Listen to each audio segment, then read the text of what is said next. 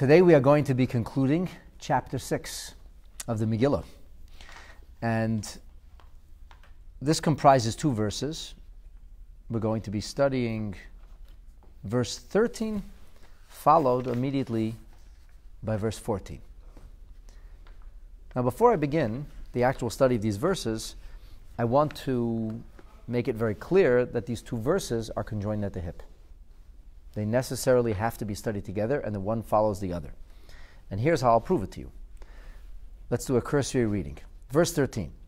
Vayisaper Haman. Haman relates or tells Lezeresh Ishto, to Zeresh, his wife, Ulechol Havav, and to all of his friends, those who love him. What does he tell him? Iskol Asher all that's unfolded. So, what's the verb so far? What's the verb in verse 13? Told. Told. Yeah, Vayisaper. The second half of verse 13 is Vayomru lo chachamov, his wise people or advisors, Vizeresh Ishto and Zeresh his wife, said to him, Im Mizerah Mordechai, if this Mordechai is from the seed of the Jews, Asher Hachiloi Salin full of fun, you have begun to fall before him, Loi Suchaloi, you will not be able to put up a fight, you're not going to be able to contend. Kinofel Tipul of fun, you'll surely fall before them, before him. So what's the verb here? The first verb is in the beginning of the pasuk, vayisaper. Vayisaper means he told. That's Haman. Haman told. The next verb is vayomru. They said. Who is they? They is wise people, advisors, wife. They. So this is basically how you would define a conversation. There's two interlocutors. There's Haman and his wise people.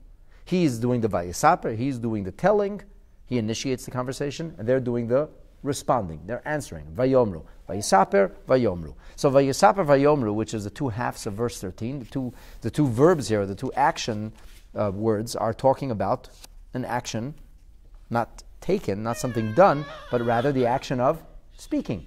It's a conversation. How does verse 14 begin? Verse 14 describes what's going on in verse 13. Odom midabrim. They're still conversing, meaning the conversation is still at its fever pitch. Odom medabrim imo. They are still talking to him. He initiated, he said something to them, they responded and spoke to him, and now they're still in the middle of responding to him. And all of a sudden, Achashverosh's royal officers came, the king's officers came, Vayavhilu. They said, That's it, quickly, we have to go. Lahavi Haman to bring Haman Mishta Asher Asa Esther to the feast that Esther had prepared. So verse 13 describes their conversation. He initiates, he says something to them, they respond to him, and Oda Medabrim, verse 14 is not mutually exclusive. It's not after verse 13 ended, then the next thing we moved on to is verse 14, but rather verse 14 is an extension of verse 13. He starts a conversation, they start answering.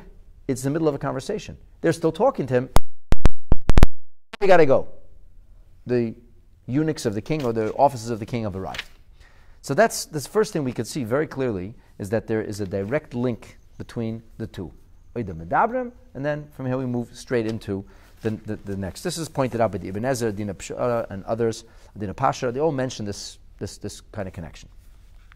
So I want to like put it out there, we have to understand why is verse 13 necessarily linked to verse 14. I understand one event happens after the other, but it seems that verse 14 is meaningful because it happened in the middle of verse 13. It was Oda Medabrim. It was when they were still talking. And what would have been if they would come to him after they finished the conversation? Why is it important for the Megillah to identify the exact timing here? It was in the middle of the conversation, then they came. Why? As they say in the Gemara's language, my benayu, what difference would it make? If it's just telling us what happened, when they arrived is seemingly irrelevant. It's what they said that's relevant. They said, Haman, it's time to go now. But the Megillah seems to be telling us something about the timing. So that's the first thing, first uh, little seed that I want to plant in your heads. Now, the next thing that I want to point out is that this whole narrative, the whole like subplot of, of the bigger story, begins back at chapter 5, verse 10. I want you to take a look. Go back to chapter 5, verse 10. Why does it begin here? Because really, this, this second part of this narrative, this particular subplot, begins after the first party. Haman leaves on top of the world. He can't get over his fortune. He is the most important man in the most powerful empire in the world. He is the number two person. He's second to the king alone. The queen makes a party. She invites one guest, Haman. He's like almost a third wheel in their marriage. He is as close to monarchy as one could possibly imagine. And what happened? And then he saw Mordechai. And Mordechai didn't bow to him. And ate up his, his intestines were being consumed. He couldn't stand it. And he was so angry. But he doesn't lash out. He's cold, scheming, calculating. By Yisapak Haman. Holds it all in. I'll get that Jew, he says. And the first thing he does when he comes home is take a look in verse 10. What's the verb here? Again, two verbs Haman's verb and the people's verb. It starts off with Haman. The first part of the pasuk is Haman. So Haman is vayisapak Haman. Haman restrains himself. The next verb is vayishlach. Vayishlach means he sends for. And he sends for. We don't know who he sent for yet, but he sends for and vayove. They came. Who came? Es oyavav, all of his beloved friends, and Zeresh Ishto, and Zeresh's wife. So from this we can understand that since he sent and they came, that who did he send for? He sent for Zeresh and he sent for Ovav, which means Zeresh wasn't sitting around at home waiting for her husband to come home. She was a busy lady. She was the prime minister's wife. She was jetting all over the place and making a tumult and doing things. And Haman said, Honey, I need to speak to you now. She said, Okay, no problem. She stopped whatever she was doing, left her chief of staff behind. I gotta go. My big man is calling. Haman is calling. The Oyavav, his advisors, people who loved him, probably busy people. They didn't sit around playing cards in Haman's house all day. Haman sends for them. This is very important. We need to have a strategy session right now. We need a brainstorm. Everybody comes. So it all begins where Haman was on top of the world, feeling as if he was invincible. And, so, and then he was angered, infuriated, in fact, by Mordechai, sends for everybody, and they come. Okay. And now Haman is back home again, and all we hear about is that he is Vayisaper. He's speaking. What do you mean? He, who's he speaking to? Well, obviously he's talking to his wife and the people who love him. Why is it that in verse chapter 5, verse 10, he had to call for them? Whereas here, in chapter 6, he just seems to slide home, and as we talked about, or slinked home is more like it, Haman nidchaf al slinks home, miserable, covered by excrement, stinking to high heaven, mourning for his daughter who just committed suicide, feeling horrible that he had to give Mordechai a bath and a haircut and lead him through the town, cry, being the, the, the, the, royal crier. And, and he comes home, and everybody's there. Doesn't say anything about their arrival. They must have been there because Vayisaper. He begins all the narrative that we are aware of is Haman's talking to them. We don't know of him calling for them, of him sending for them. How, how did that work? And this is pointed out by the Din Pshara, the Manas Levi, the Ibn Ezra kind of touches on this. This is a this is a major problem. Like something's missing in the narrative.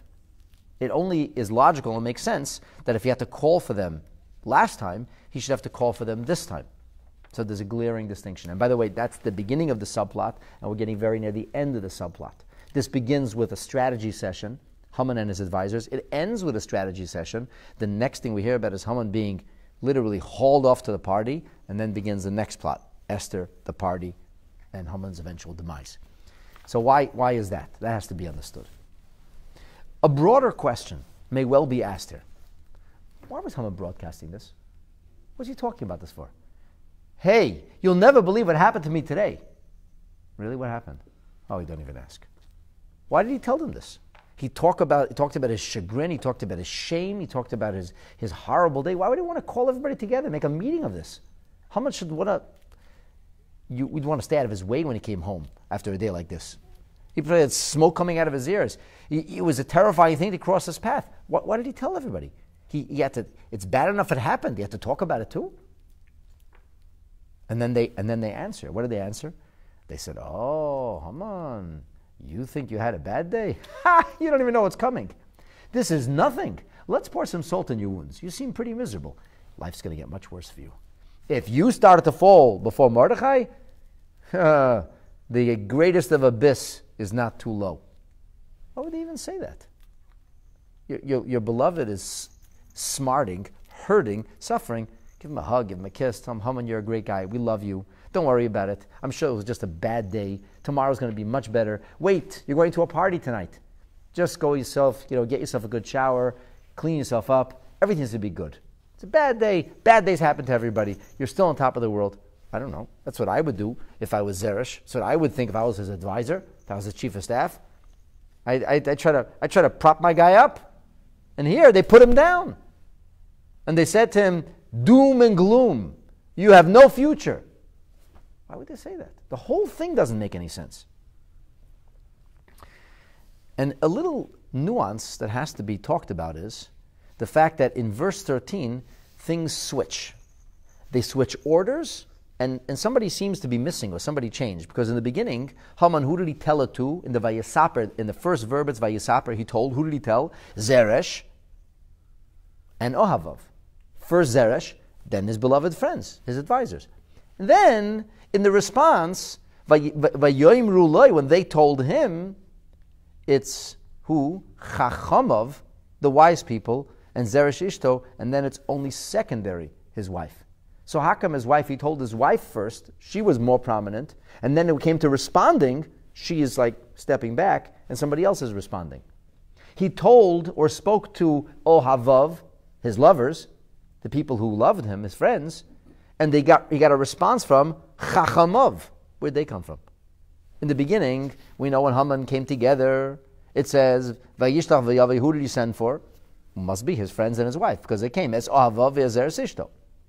He sent for his friends and for his wife. Interestingly, here he sends for his friends first, not his wife. And Vayisaper, if you go back to verse, uh, chapter 5, verse 11, the last time he told them, he was telling about his glory and his greatness and how everything is fantastic. And Haman said, You wouldn't believe who was at the party, just me. But I can't stand it. So Haman first called his lovers, first called his friends, then he called his wife, but who responded first? Zeresh. He called for her second, but she spoke first. Now he calls for her first, and she speaks second. And anyway, he started off with friends, people who loved him. He's, that was the first time, the beginning of the subplot. He begins to speak to people who love him, but who responds? Chachamav, the wise people. Where the wise people come from? Something here is not adding up. Which leads us to the obvious conclusion that this is one of those verses that contains a much deeper story. There's much more than meets the eye here. There's something very, very profound in, that's being conveyed to us in the subtleties of these verses, and these verses have to be studied very, very carefully so that we should be able to appreciate and understand the big picture and the rest of the story. Okay, so with this preface, let us now try to understand the messages that are being conveyed to us, the story that's being told in these concluding verses of chapter 6. Let's take it from the top. Vayisaper Haman lezeres ishtay. Haman relates. He relates the story. Vayisaper. He's telling the story. Why is he telling the story? He's telling the story to Zeresh. He's telling the story to Ohavav. Why would he tell them the story? Because he, because he needs some encouragement. He needs them to say, it's going to be good. Calls for his wife and it's going to be fine. A gesund. And what does he tell them? Es kol asher karahu, everything that happened. Now, this word karahu is a very, very important little word.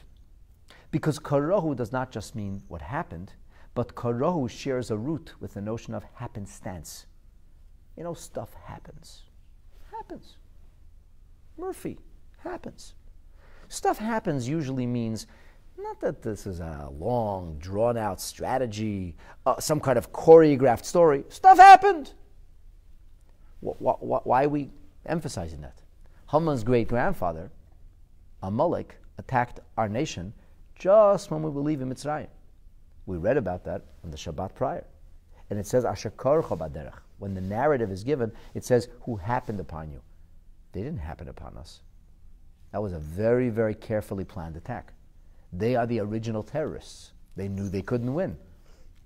The, the nation of Israel was invincible. God just defeated the mighty Egyptian army. They thought a ragtag band of guerrillas is going to be able to defeat the God that was able to vanquish the entire Egyptian army. What, because there was no Yamsuf, because there was no sea in the desert? There's, there's a limitation to God's ways. They had no intention of winning. What they want to do? They wanted to demoralize the Jewish people. The terrorists can't win. The terrorist knows he can't win. But the terrorist going to launch an attack on, on the United States, chas v'shalom, on Canada, they're going to win.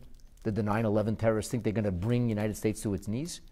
They wanted to demoralize. They want to demoralize the Western world. They want to take away the Western world's joy.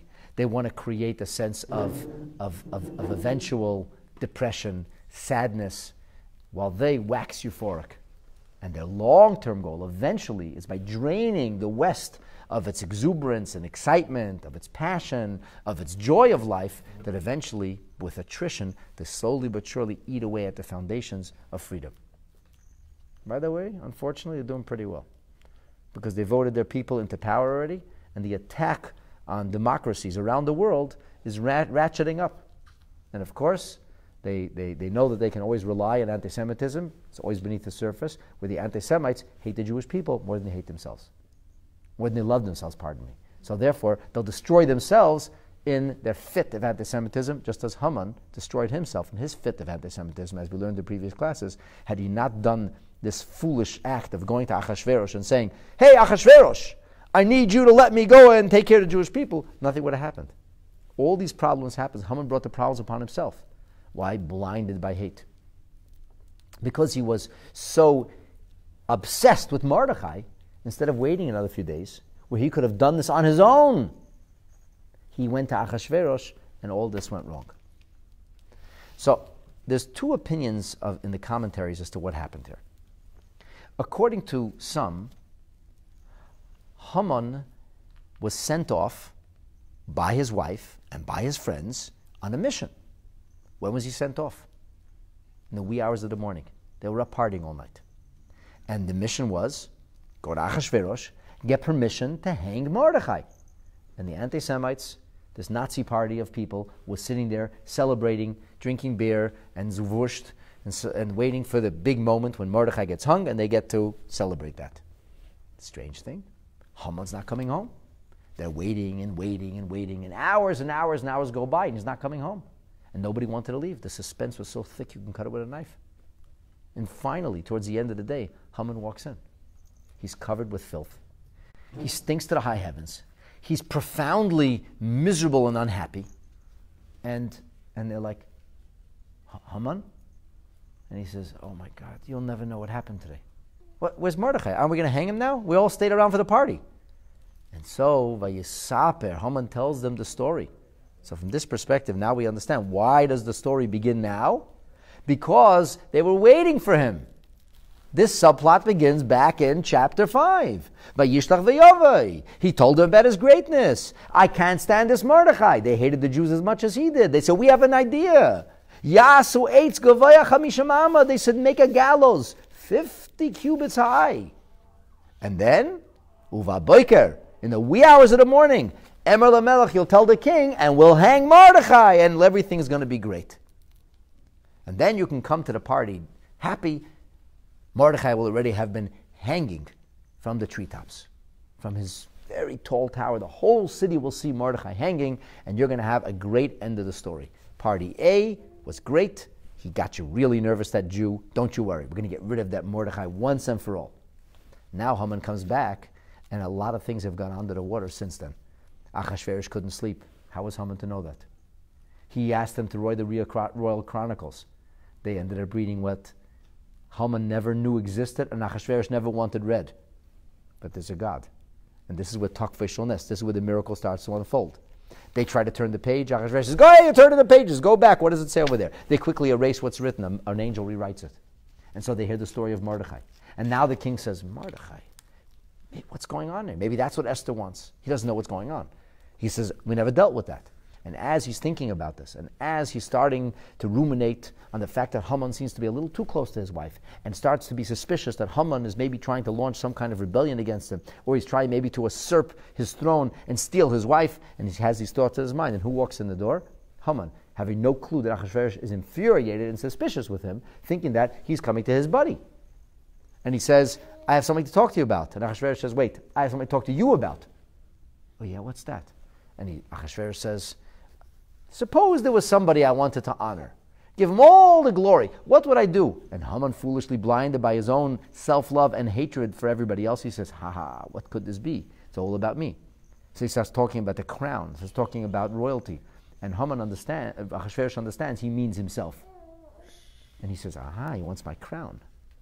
So now he's even more suspicious of him. And then he tells him, Go do everything to Mordechai, exactly what you said sends him off running to go to Mordechai. So he has to go running to Mordechai now and do all these things, and Haman has the most miserable day of his life. Esther closed down the bathhouses, as we talked in the previous class. Haman himself has to become the bath attendant. Haman himself has to give the haircut. No, I'm not traveling, Zelda. I'm just in the middle of teaching a class. But speaking to you on the radio is really important, so I'm going to interrupt.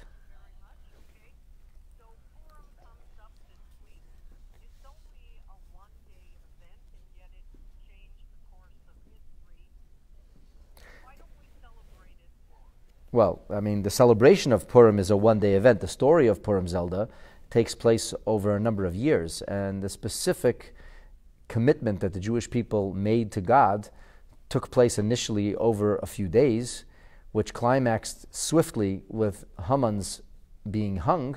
But then there was a whole bunch of months in which amazing things unfolded national renaissance, an amazing wave of return and tshuva the Jewish people undid much of the spiritual damage that they had self inflicted, the assimilation that had occurred in the decades prior. And by the time the story of Purim came around on the 13th day of Adar, Am Yisrael, the nation of Israel, was as fiercely devoted to God and His Torah as they were when they received the Torah many centuries before.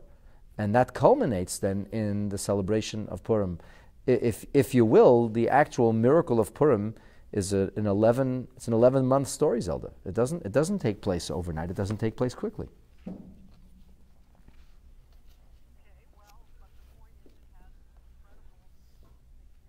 It has incredible significance, and by and large, Jewish holidays are celebrated for a day. You're right, it's a day with an enormous bandwidth. It impacts the entire year.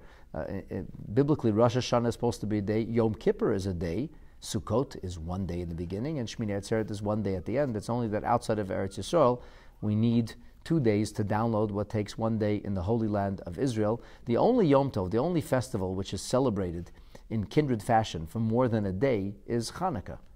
And that's celebrated in like fashion or an intensified fashion each and every day of Hanukkah as we continue to wax in light and, and holiness. But, you know, that's, that needs to be spoken of on Hanukkah time. The fact that Purim is just a day isn't really a question. My question is, why isn't this day more widely celebrated? Do people not realize and understand the power that's attributed and attached to the observances and celebration of this day? I, I, I, I'm assuming they don't, Zelda. I guess that's my job and your job to promulgate this message.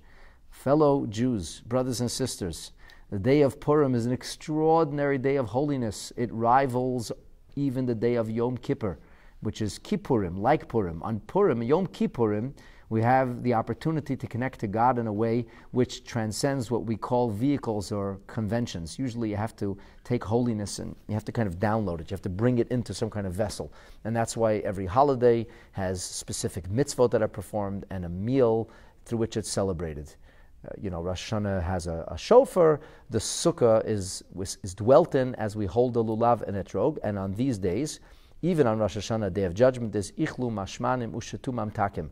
We eat fine foods, we drink and toast ourselves with sweet and, and, and, and, and, and wonderful drinks. And it's a, it's a time of celebration. And those celebrations actualize the holiness of the day. And when we eat and drink, we internalize the magic of the moment. On Yom Kippur, it can't be internalized in such fashion. And that's why we don't eat on Yom Kippur. And that's why the celebration is somewhat muted. It's not actualized in the most literal sense. And that's because Yom Kippur represents a holiness which is really beyond rhyme and reason, transcendent of convention or envelope. But the interesting thing is that Purim, of all the holidays, even though we eat and drink, this eating and drinking is actually beyond limitations. As the Gemara tells us, a person has to imbibe on Purim to the point that, that you transform, transform yourself into a, a place where rhyme and reason are no longer relevant. Every other holiday, Zelda, the eating and drinking has to be done in a limited fashion. In, in fact, the Gemara tells us that the Beit Din would actually have uh, kind of a, a, security force that would go around and make sure that people didn't get too happy and didn't uh, veer off the path of propriety and decency. But on Purim, on the contrary, everybody's encouraged to kind of go beyond the rails and, and, and to leap beyond. And this is because Purim, sp- spiritually speaking, is even more powerful than Kippurim. On Purim, we're able to download an energy that transcends even the holiness of Yom Kippur. And so, Zelda, I know you'll be in Shul, but our hope and our prayer, I say our, I know you hope and pray for the same, is that all of our Jewish brothers and sisters will shake up the dust, rise from their slumber of assimilation, join us together in the shuls across the GTA and beyond. And Be'ezrat Hashem, as we will re embrace our faith and express our loyalty and our commitment, dedication, and devotion to Hashem Elokei Yisrael, to God, that we will see Be'ezrat Hashem miracles and wonders this year, just as we've seen them in the days of Purim in antiquity. And hopefully, this year Purim will herald a new world order and literally a full on transformation of reality as we know it. And from the joy of Purim, we'll go into Simchat Olam, the eternal joy of redemption through the coming of Mashiach b'mheira, O b'yameinu speedily and in our days. Amen.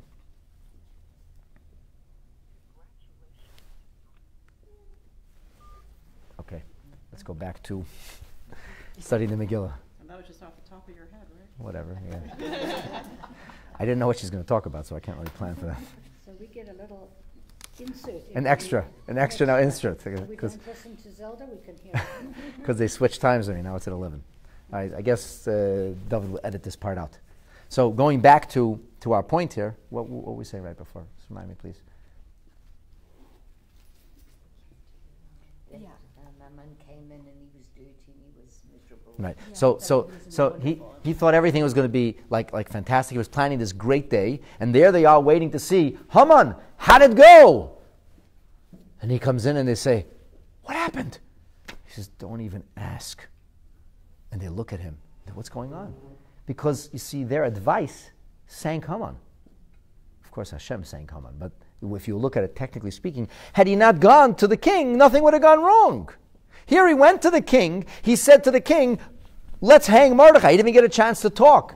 And so he ended up being a bath attendant and then a royal crier. And now he finally comes home hours and hours and hours later after he had this wonderful plan and he was going to come to the party joyous and jubilant, having rid himself of his archenemy, Mordechai. And he comes home and he says, It was terrible, he says. It was awful. The whole plan was a disaster. And they go, What happened? And he says, Ah, it just happened. Whatever. It must have been a really bad day. I had bad luck today. And he tells them what happened. But when he finishes telling them what happened, he says, Asher karahu, stuff happened. They turn around and say, Uh oh, Haman, that's not stuff happening. If that happened, they said to him, if that happened, it's not just happenstance. And they said, Im mizera. If this is the Mordechai man that you're up against, if this is the way it's going, well, in that case, nafal tipa lefanov, nafal, you're gonna you're gonna fall before him. If it's Mordechai, Yehudi if it's Mordechai he started to fall before, then everything is going to bottom out. Why did they say that? Why did they tell him, yeah, Haman, it just happened. High five, man. Let's have a drink. You'll feel better.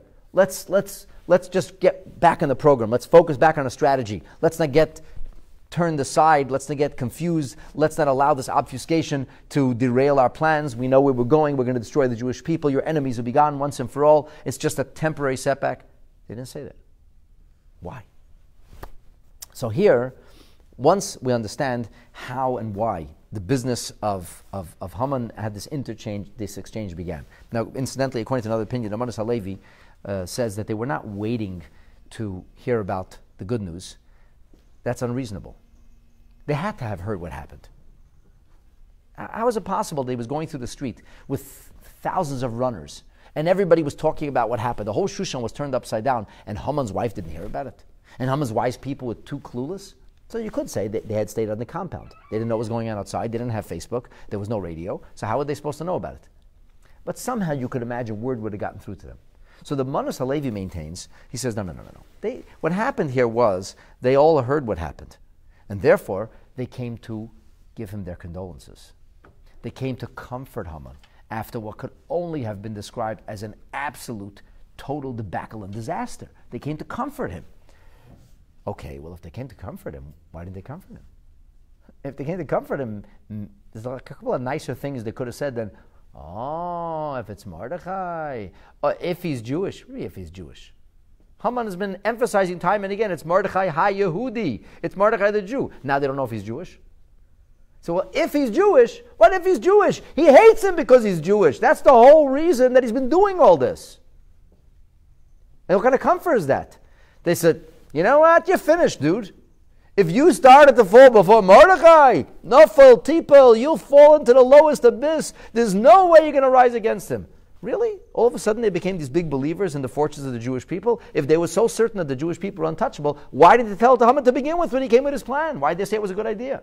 Why did they tell him, go hang Mordechai? Now they said, oh, they're untouchable. Don't set up with them. This whole thing doesn't make any sense. Something changed. Something happened here. So for this we go to Rashi. Rashi says, Asher hachiloisa linfa, whom you have begun to fall. And the Sifs Chacham says the emphasis here, there's like hachiloisa linfa, there's like multiple fallings. There's, there's not a bad day. There's not a falling out of, of, of plan. There is a domino effect. Something has started to unfold here. Why did they say that? Why were they so sure of that? So here, Rashi quotes the Gemara in Meseches Megillah on page 16, and he says,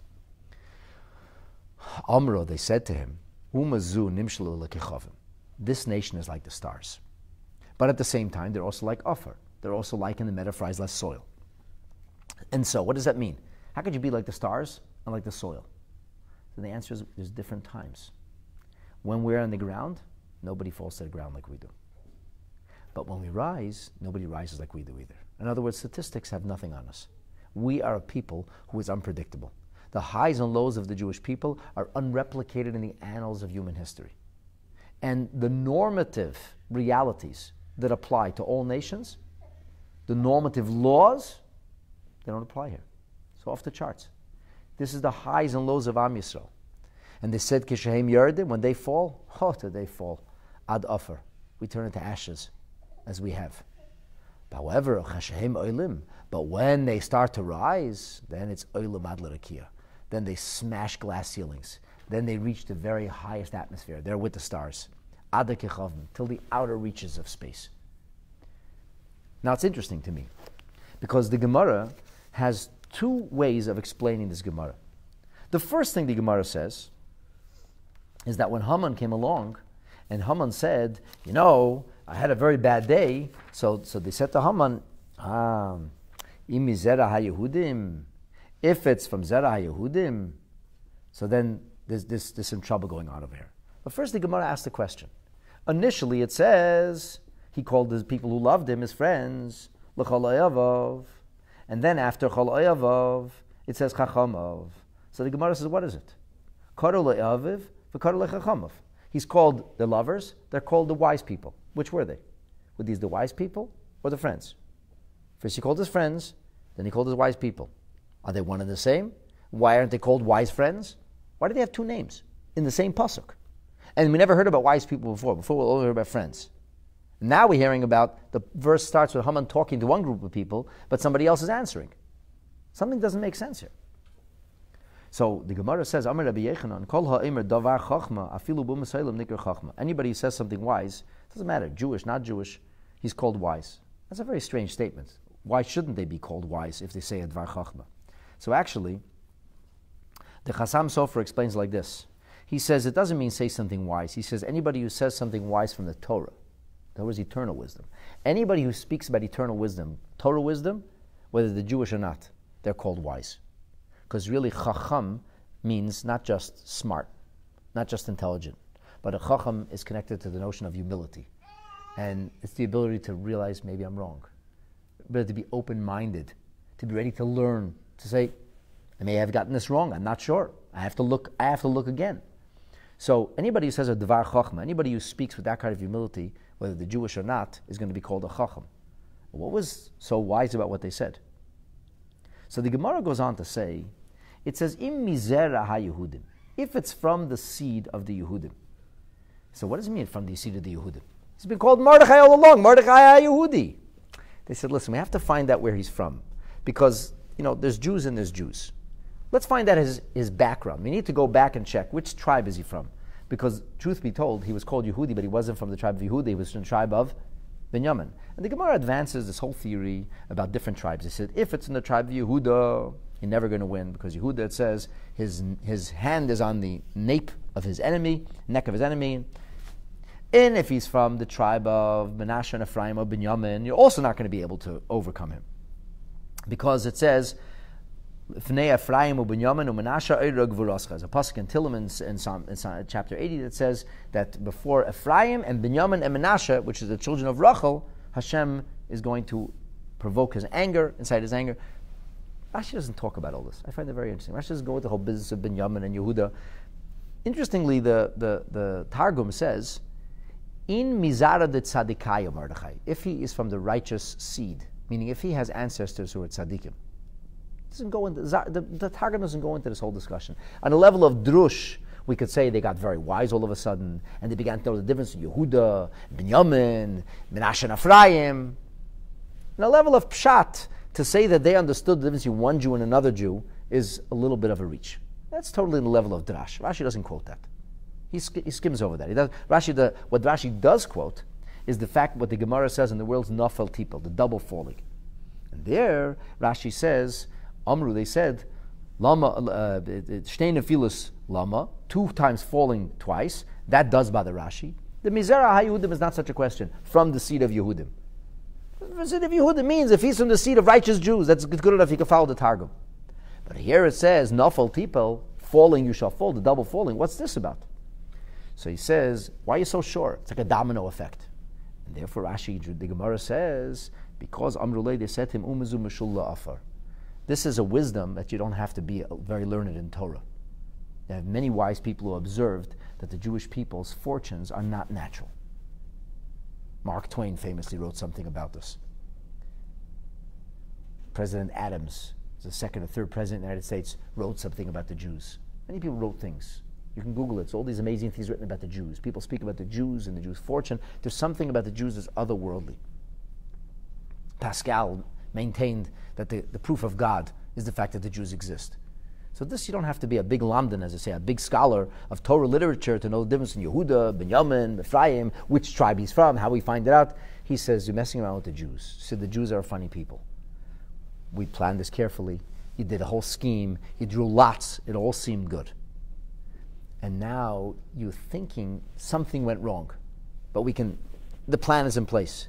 They said to him, no, no, no, no, no you have it wrong. It's a mistake, Haman. Do not make the mistake of thinking that this is Asher Karahu. Some stuff, some stuff happened. This is not a temporary diversion. Because this nation is like, unlike any other. When they fall, oh, they fall. They were ready for annihilation. But now something's changed. And if that happened to you when you were going to hang Mordechai, at that last moment, there's such a stunning turnaround. It's not happenstance. You're wrong. Haman, you need to understand the Jewish people are different. Their highs and lows are not seen anywhere else. This Rashi quotes. It was a very wise and astute observation that they made. So, what happened to the lovers? What happened to the friends? First of all, the Dina Pshara, and um, it's also I, I've also found this in the the um, says this also and develops it further. He says, you know, these people don't really have friends. These people in power. You think Haman really had people who loved him? They loved him if he was in power. The moment he's out of power, they stopped loving him already. Now they just got wise. So initially, when he told them a story and they wanted some sympathy, he thought he was talking to his friends. By now, they understood Haman's cooked goose. He's finished. They were no longer his Oyavav. Zeresh, she already took a back seat. This was not, this is not the kind of group that she, she, she felt a kindred sense to anymore. Now the Chachamim came in. Their love had waned, and all of a sudden they, they weren't blinded by love anymore. They weren't overwhelmed with positivity. They said, Listen here, Haman, as your lawyer, I have to tell you. So your lawyer doesn't love you. He loves your money, he doesn't love you. He's just giving you advice. He said, as, as, as your lawyer, Haman, as your lawyers, as your strategists, we have to tell you it's time for a rebooting. You cannot simply continue with the same strategy. Something major has just taken place. It's, it's, there's a shift here. Maybe you can do this. If you can, it'll be sometime in the future. You got to shelve those plans. What happened here? What happened there, he says, this is a nation that rises and falls in the way that the earth and the stars are metaphoric of. Let me share with you the words of the Medrash on the words of the scripture in which God conveys to Yaakov, father Jacob, the fortunes of the Jewish people, which clearly these wise people knew about. The pasuk is found in Genesis. In chapter 28, verse 13, it says, zaracha, your seed will be ka'afar ha'aretz. Your seed will be like the dust of the ground. Else we hear about the stars. But Hashem doesn't tell Yaakov to be like the stars. And a moment later he says, ufaratzta. They'll burst forth. They'll powerfully explode. In other words, they'll be anywhere but the ground. The sky's the limit. So the Medrash Rabbah says, Sikusim nasan HaKadosh Baruch Hu God gave measures this is the yardstick of the Jewish people. If you want to measure their fortunes, if you want to know how things are going, here's the yardstick. Here's the methodology. It goes like this Your progeny will be like the dust of the ground, says the Medrash. When they reach the lowest level, then, when you think it's all gone, just like the moon, it disappears from the sky altogether when you think it's all gone, think again. The Jewish people will not just slowly rebound, they will meteorically rebound. They will all of a sudden have a transformation of fortunes, the like of which has not been seen before. And really, we don't have to go so deep into Jewish history. If you look at the years of the Holocaust and the years that followed, you see the most remarkable shift in Jewish history. From the ashes of the crematorium to being able to rise and rebuild our nation in a way unprecedented since temple times in Eretz Yisrael and throughout the world. So this is the reality. He says, when they fall, nobody is ashes. Nobody falls to the ground like we fall. But, but at that moment, when they fall so low, you should know they're going to rebound. Now, with this, if you use this medrash, you could take the Gemara even further. Here, the wise people said, when they fall, they fall. When they rise, they rise. Haman, the jig is up.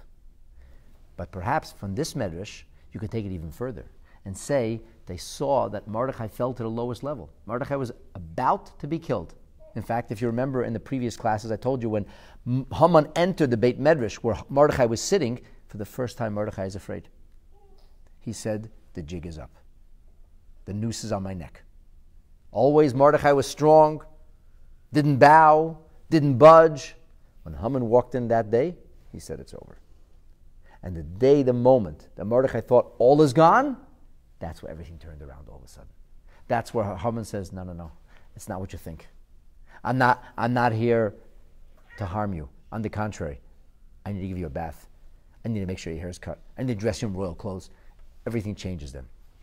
And, and, and the Rebbe once explained in that medrash, she said, that what is the meaning of Yagia Zeracha Adafara Aretz? That the nation reaches the lowest level. He says this is not just a, a narrative of the f- of failures and fortunes of the Jewish people. But on the contrary, he says, the message to the Jewish people is that when we reach a level of spiritual humility, because that's what offer, that's what dust or soil is metaphoric of. The notion of, of, of extreme humility is typified in the verse we say every day in Shmoneh Esrei. Three times you say, V'nafshi ka'afar la'koltia. Let my soul be like dust. When the Jewish people were humbled before God, when they felt like dust before Hashem. And that's what happened in these days before.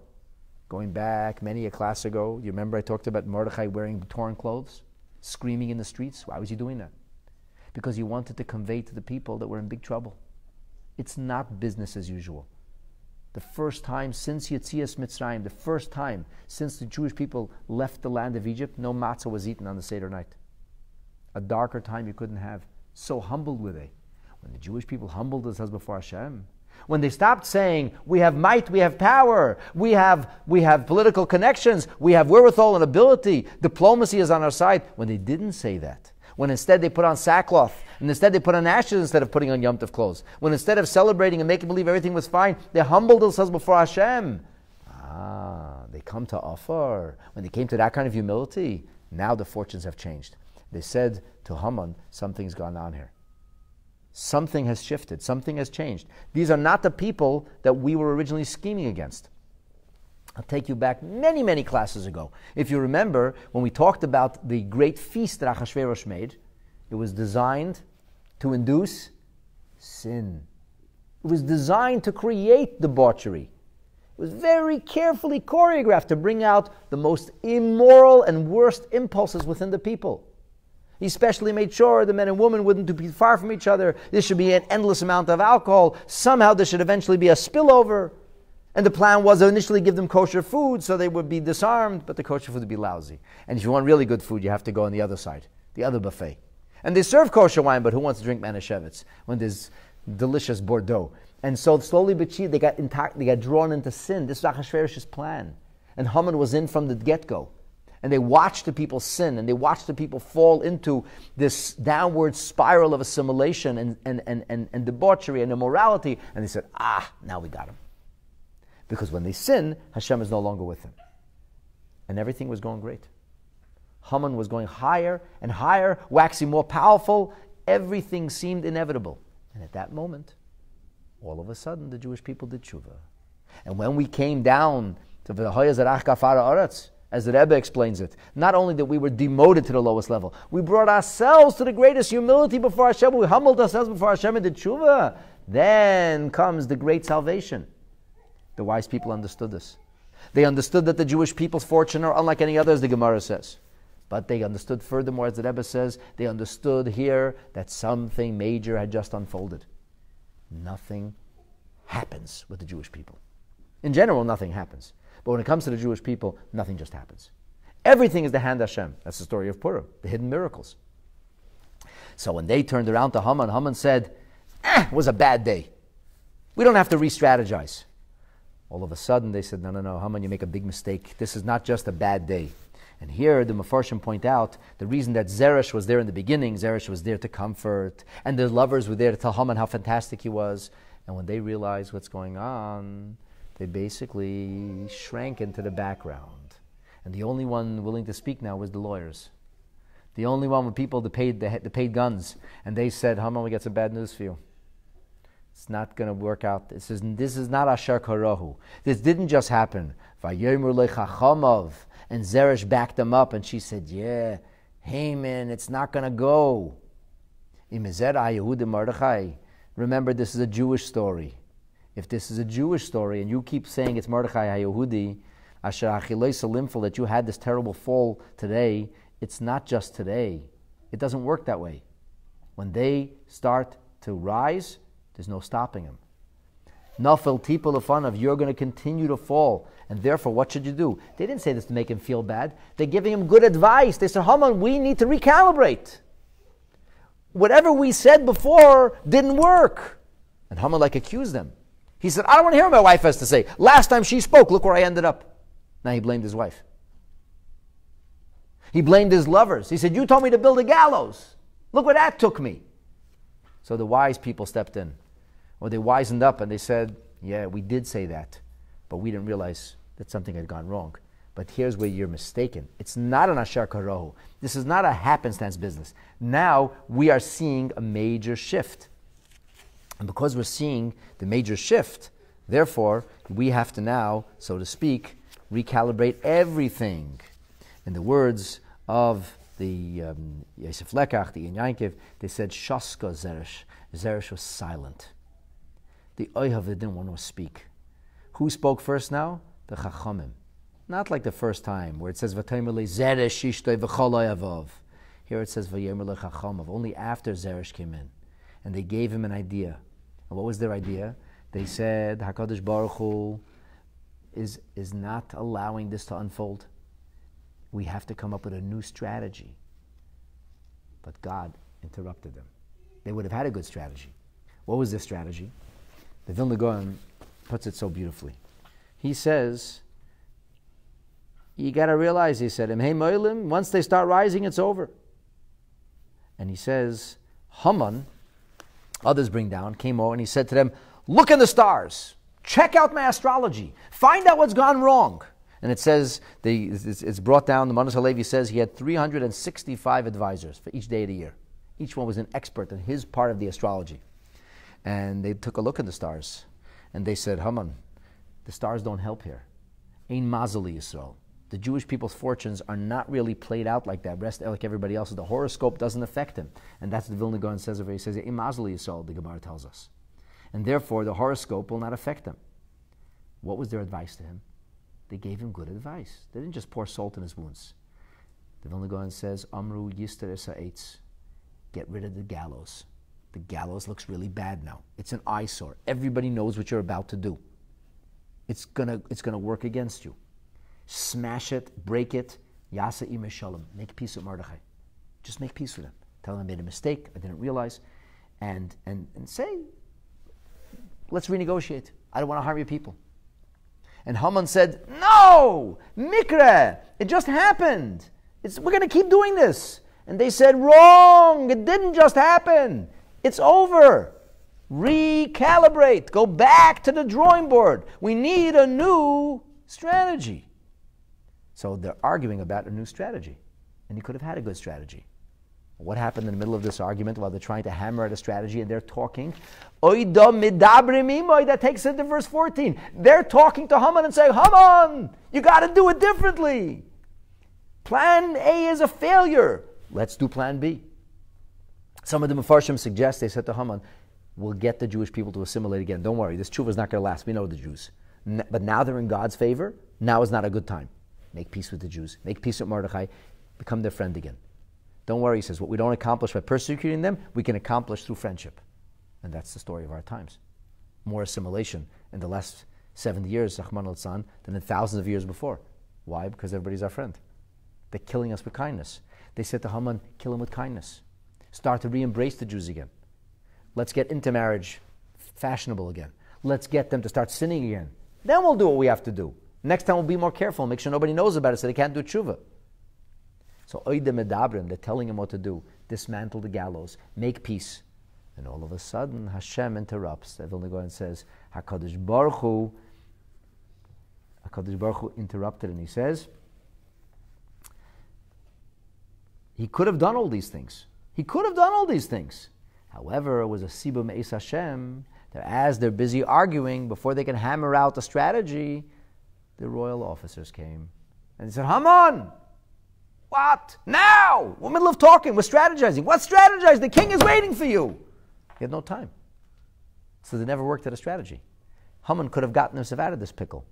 But now HaKadosh Baruch Hu is pulling the strings openly, and that's why. Medabrim, as they're strategizing, this is not a, a condolence session. This is a dangerous strategy. This is in the, the eagle's nest. The Nazis are planning the next move. And at that time, Hashem comes in, interrupts the planning, and Haman is yanked out. So his plans never come to anything. And he heads off for his final dinner because he'll be hanging in a very short amount of time. That's the connection of verse 13 to verse 14. Now it makes so much sense. It's, it's uh, telling and compelling. There's a fascinating commentary Imam Loyes brings down about whose order was this? Who ordered, who ordered Haman to come immediately? And he maintains this was Esther's order. Why was it Esther's order? He says the Dina Pashra, the Maimon Mordechai say that Haman, part of his strategy was maybe we should lead a rebellion against the king. Haman said, I'm going to go into all my sons. His sons were actually prime ministers or governors of different provinces. He was going to go call a secret meeting of his sons, and they were going to plot the overthrow of Achashverosh, lead a mass rebellion. They all had little mercenary armies, they all had the ability, and Esther realized that was going to happen. She realized that Haman is going to re- is going to understand that everything, the bottom, the th- things had bottomed out. And therefore, she knew she had to act swiftly. So here, Esther, with her brilliant political acumen, once again saves the day. Immediately sends the officers, says, The party is now. There's one guest, and he's not arrived. He hasn't arrived yet. So they come before Haman could have any kind of chance to plot his next move and to figure out how to overcome the current obstacle. Esther makes sure that he's dragged right in. The commentators also tell us that Haman realized that it was not just it was before the Nafel people there was a redundancy. The Alshich says there was two fallings over here. The Alshich says that they, he realized the advisors realized that he had fallen before Esther as well. That's the Nafel people. There's going to be a double fall. You're going to have a falling out with Esther. Esther never told anybody what her nation is. So there was always a suspicion she might be Jewish, but nobody could. How could it be? How could a Jew be so beautiful? How could a Jew be so great? Couldn't be a Jew, but there's a suspicion. They knew there was a relationship with Mordechai and Esther. So the, the, the wise people said to Haman, You're clearly Esther's not on your side. How did they know this? They knew this, says the Alshich, and Megillas Sesarim says because who shut down all the bathhouses? It was by the royal edict of the queen. Who shut down the barbershops? Esther did they, they quickly went and found out what happened, which forced Haman to be the barber and Haman to be the bath attendant. They said, Esther's in on this. But really, Esther wasn't. She didn't know how things were going to unfold, but as soon as she got the information, she immediately made sure to do this. She was on top of her game. Brilliant, brilliant mastermind of everything is Esther, not Mordechai. So Esther brilliantly closes down all these things, makes sure the city's closed down so the people will be in the streets to see the parade. And they said, if she's in on this, you're falling, having, falling out with Esther. You need to make peace with Esther too. It must be that Esther's Jewish. And that's the redundancy over here. So Haman is now planning to somehow, he has to make things right with Esther and make things right with Mordechai. He's got a number of options, right? He's just going to strategize. How do we do this? Do we make friends with Mordechai? That's the Vilna Gaon's approach. He says that, that was the plan. The Manas Levi says, no, we're going to lead a rebellion against him. There's going to be a move. What do we do now? Whatever was, isn't. So now we have to plan the next move. And as they're planning the next move, and as Haman is going to be in that situation, all of a sudden Hashem par- parachutes in these eunuchs, these royal officers, and they said, Vayavhilu, this second. And here it gets really cool, because Haman, in his state of dishevelment, he never even took a shower. Do you remember what he had a shower of? The chamber pot. He stinks to the high heavens. He's miserable. He's yelling and screaming at his wife, at his friends who are not his friends anymore, at his advisors. His lawyers are screaming at him. There's total chaos. And in the meantime, Oida Medabrim, the Manas Levi says, guess what happened? The Sarisim heard this conversation. They overheard. Because how else did Charvona know? Charvona steps in when Achashverosh has an absolute fit and he storms out into the garden and he sees Haman lying on Mordechai begging for his life and he says, Did you come to seduce the queen also? And then Charvona says, Not only this, he built a gallows to hang the friend of the king Mordechai. How did he know that? How did he know? So Charvona was in on this whole thing. He realized because he overheard and he knew that Haman was planning to dismantle the gallows, but didn't get to dismantle the gallows.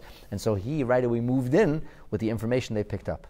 So they were still speaking. The royal officers heard this whole strategy session. Haman get yanked out. He comes in a state of disorient, is totally disoriented. He's disheveled. He stinks. He doesn't have his act together. He's a brilliant operator on a good day, but today is not a good day. His samfra is blown. He's not the cool, calm, collected Haman. There's no vayis apak happening on this day. Haman is totally discombobulated. And it's interesting that it says vayavilu, but it was just lahavi. Once they got going, the officers relented. They left Haman alone. They didn't have to anymore. Everything had happened as it should. The Gemara says, what does it mean, melamed? This teaches us, They brought him with a state of anxiety, in a state of, of, of, of, of, of you know, pushing him and, and, and, and demanding of him to go. So Haman came disoriented, stinking. And when he sat down at the party, he wasn't able to right now figure out what move is next and what to say and how to go. He was lost. He was a lost man. He was totally freaked out. And he stank. And he felt miserable about his body odor and how he smelled. So, in this kind of situation, that's what parachutes us now into verse chapter 7. Now you know the rest of the story. Now you understand how Haman came, he sought advice, he began to strategize, and he got interrupted the strategy session, and there they go straight into the, the party. Lahavi, they came to bring Haman, Elamishta Asha Asasa Esther. And with this, chapter 6 concludes, and the stage is set for Haman's downfall, which will be happening very swiftly. Now imagine Achashverosh comes and he sees who comes, how does Haman come to the party? Stinking. He says, he disrespects me. Who shows up at a royal ball? He can't take a shower first? So Achashverosh, the ever suspicious man, thinking that everybody's out to get him, thinks that this was Haman's way, come late to the party, and he came to shovel to the party. I have a relative who has a point of, he's a stickler for time. He always comes on time. And he told me, sometimes I come late. I said, You come late sometimes? He says, When I'm angry at somebody, I come late. I make a point. They know. They know if I came late, I was angry. and if he says so, I guess that's how that's his gig. If I come late, then I'm just being myself. But like, so Haman is not punctual. When you're the only guest, it's a good idea to show up on time, especially if the hosts are the queen and the king. The queen and the king are waiting. Esther's sitting there. Achashverosh is not happy. He's not in a good mood. He's, he's suspicious of his own wife, thinking maybe she's plotting behind him. And it's like, hello? Is dinner yet? Esther says, well, we're just waiting for our guest. And she smiles sweetly. And Achashverosh is raging inside. And Haman walks in, disheveled, not focused, late. And you can only imagine what Achashverosh is thinking now. He's further dishonoring me. He, he's dissing me. That's how he shows up to my party not knowing the whole background of what has gone on. And this, as we say, is the crowning climax of the story. In this, uh, so to speak, wonderful situation where Haman is poised for disaster, this is how chapter 7 will open. Uh, Rabbi, didn't you say that when Esther, when she threw the, The one question. Yeah. it, uh, when, when she threw the, the chamber No, Esther didn't throw it. Haman's daughter threw it. Because then I misunderstood everything. Because I thought you said when Esther threw the the excre- uh, excrement, sh- then she jumped off the building. Esther didn't jump. Haman's daughter. Haman's daughter, and that's and that and that's like add to compound everything else. He's still in mourning. He never have a chance to mourn for his daughter. He still has. Mordecai, but she had her father instead. He has a daughter who killed herself, and there wasn't even a funeral yet. You can imagine what Haman's feeling like. His entire life has, seems to have gone up in smoke, literally over a few hours. His daughter is dead and hasn't yet been buried, and he's expected to show up and look happy at a royal party, because Achashverosh doesn't know what happened, and he's not going to tell them what happened. So this is such a stunning turnaround. This, this is actually mind-boggling. So people say, "Where's the miracles in the story of Purim?" the miracles are right here. It looks like a natural story, but this is a soap opera like nobody could ever have written. This is such so stunning, so extraordinary, so amazing. Now we're going from afar, now we're heading for the stars. And this is now mid trajectory. We stop chapter 6 and we get ready for the next scene. Haman enters the party to be continued. so Haman had all the sons and one daughter.